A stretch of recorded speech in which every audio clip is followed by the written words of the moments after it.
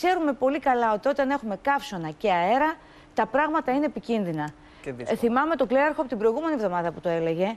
Ε, και τώρα δυστυχώς το είδαμε αυτό στην Κύπρο. Ναι, ναι. Θα συνδεθούμε με Κύπρο σε λίγο. Έχουμε στη γραμμή μας τον Κλέαρχο, τον Μαρουσάκη, τον γνωστό μετεωρολόγο. Καλησπέρα, Κλέαρχε. Καλησπέρα, καλησπέρα Νίτα, καλησπέρα σε όλες και σε όλους. Θυμάμαι τώρα, σαν να είναι, που έλεγε την προηγούμενη εβδομάδα πόσο πρέπει να προσέξουμε για τους ανέμους, ε, για πυρκαγιές κλπ. Έτσι. Και δυστυχώς το είδαμε να συμβαίνει. Πράγματι λοιπόν είδαμε ότι με τη μετατόπιση αυτού του κύματος καύσωνα προς την ε, περιοχή της Κύπρου επικράτησαν και εκεί πολύ ε, ευνοϊκές συνθήκες για να ξεκινήσει και να εξαπλωθεί μια πυρκαγιά και εδώ βέβαια στη χώρα μας είχαμε ε, ένα μεγάλο μέτωπο Ξεκίνησε, ναι, πυρκαγιάς. αλλά ευτυχώς. Ευτυχώς, ευτυχώς βεβαίως Είναι σε ε, καταστολή. σχετικά γρήγορα ε, τέθηκε υπό έλεγχο στην περιοχή της Κεφαλονιάς. Είναι γενικά έτσι αυτές οι συνθήκες του καλοκαιριού που εναλλάσσονται τα πολύ θερμά κύματα με τους δυνατούς ανέμους δημιουργούν έτσι πολύ ευνοϊκές συνθήκες ε, για την εκδήλωση και την εξάπλωση μιας- μιας πυρκαγιάς και χρειάζεται πολύ μεγάλη προσοχή. Πάμε όμως να δούμε σε ό,τι αφορά την ε, εξέλιξη του καιρού για τις επόμενες ημέρες. Μπορούμε να παρατηρήσουμε στον πρώτο μας χάρτη ότι όπως είπαμε και χτες από αύριο Δευτέρα μέχρι και την Τετάρτη θα έχουμε κάποια έτσι αστάθεια κυρίως σε υπηρετικές περιοχές της ε, κεντρικής και βόρειας χώρας. Βλέπουμε χαρακτηριστικά με τους χρωματισμούς τις διαταραχές που περνάνε από τα βόρεια τμήματα της χώρας μας. Αυτές έτσι οι διαταραχές, αυτά τα βαρομετρικά χαμηλά θα δίνουν αστάθεια το μεσημέρι και το απόγευμα στην κεντρική και βόρεια υπηρετική χώρα που σημαίνει ότι θα εκδηλώνονται βροχές και τοπικές καταιγίδες ε, κυρίως στις απογευματινές ώρες.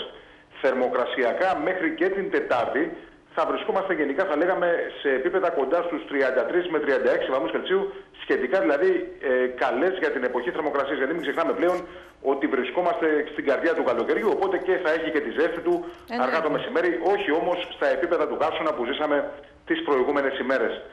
Ας δούμε όμως μέρα με την ημέρα πώς θα έχει εξέλιξη. Πάμε να δούμε στον επόμενο μας χάρτη για αύριο Δευτέρα που περιμένουμε τις υψηλότερες θερμοκρασιακές τιμές. Μπορούμε να παρατηρήσουμε λοιπόν ότι προς, την, ε, προς το εσωτερικό της Θεσσαλίας θα δούμε τον υδράργυρο κοντά στους 36 με 37 βαθμούς Κελσίου. Από εκεί και πέρα όμως βλέπετε χαρακτηριστικά προς τη Βόρεια Ελλάδα η θερμοκρασία δεν φαίνεται να ξεπερνά τους 28 με 32 βαθμούς.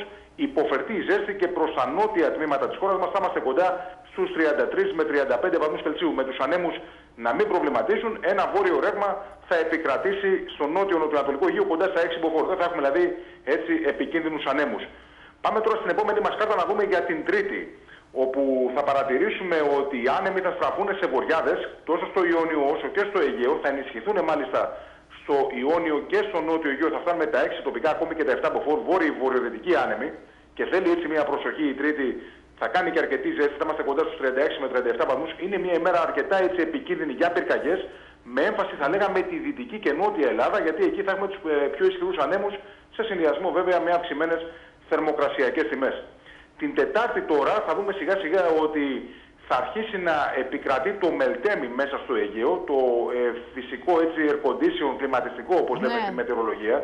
Θα αρχίσει δηλαδή το μελτέμι να ενισχύεται στο Αιγαίο, θα φτάνουμε τα 6 και από το βράδυ ακόμη και τα 7 από φόρ, θερμοκρασιακά.